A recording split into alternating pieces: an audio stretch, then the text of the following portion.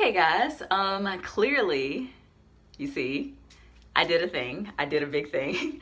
um, so yeah, all right, I know this video is overdue as well, but I posted a teaser showing that I had um, went violet um, a while back, you know, I, with the color on and everything. However, when I did that video, the color ended up coming really dark. Um, it really just wasn't as vibrant as it needed to be. So I ended up having them go back a few weeks later, which is why it took so long for me to come back.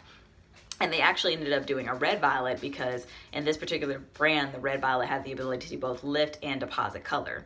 And so the front of my hair was darker, so it actually is like a legit violet now versus the sides are like a sort of maroon and then the very back of course we've got like an actual like reddish color happening and hopefully you can kind of get a good feel for the, the accurate shade of the color I will do a 360 before the end of the video I promise. I know everybody's been asking about that.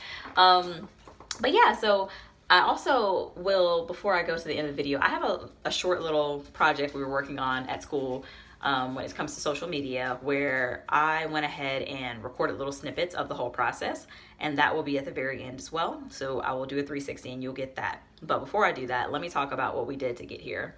First, we went ahead and lifted my hair using bleach, uh, not store-bought obviously, but lightener, we use lightener, to go ahead and lift my hair further up. Not all the way to the roots, we left about an inch or two out. Um, in certain areas, but that was just to help the color take a little bit better. That was the mindset.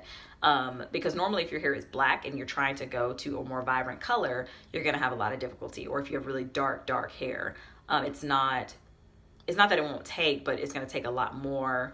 Um, and if you just lift, you're gonna get more accurate to the actual color. So we thought, okay.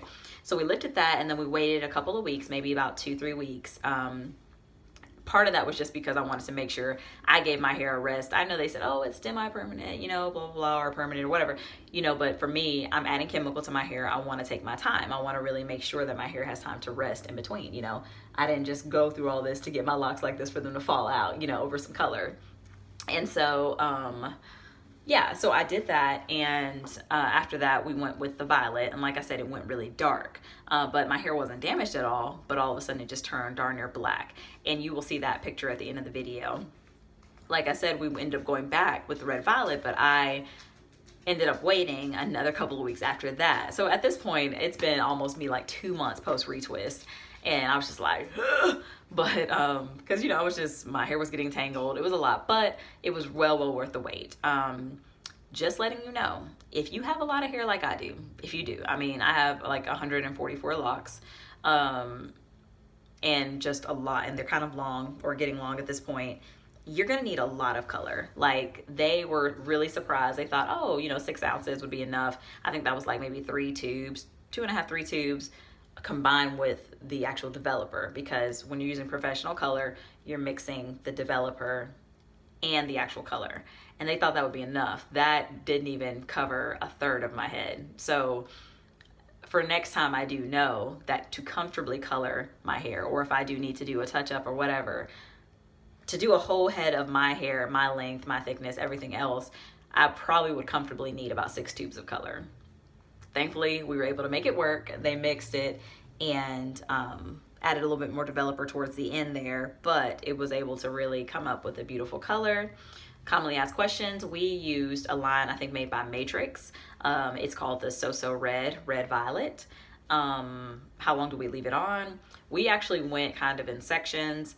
Um, so they started with the back, which is another reason why the back is more vibrant. That part was the lightest to begin with. And so it uh, was only left on, I think maybe about like, I think it was about 30 to 40 minutes. And then the part in the middle section, they applied that one, that was left on maybe about like 25 to 30. And then the last part was only left about 20 minutes. So it ended up giving it a nice little transition, little shade.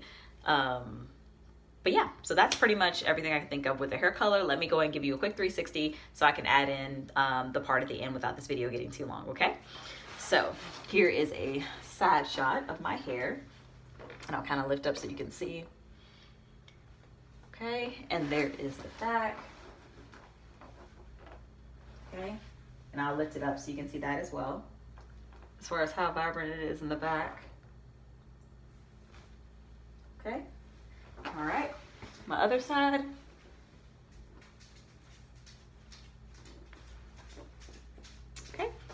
And back to the front.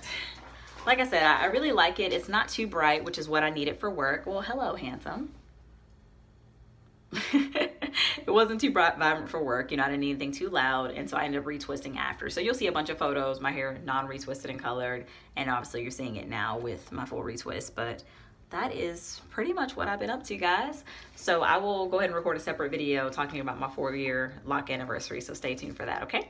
All right, bye.